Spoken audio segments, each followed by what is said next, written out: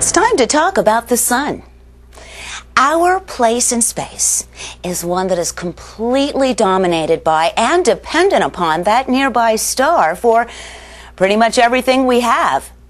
It provides the basis for our clocks and our calendars, our food and our warmth. Dozens of cultures like the Mayans and the Egyptians worshipped it. It's not surprising, since the facts about the sun are truly impressive.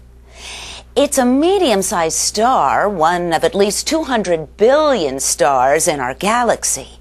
But even being average, it's huge compared to us.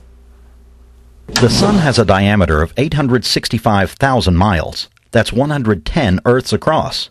Put in even clearer terms, you could fit over a million Earths inside the Sun.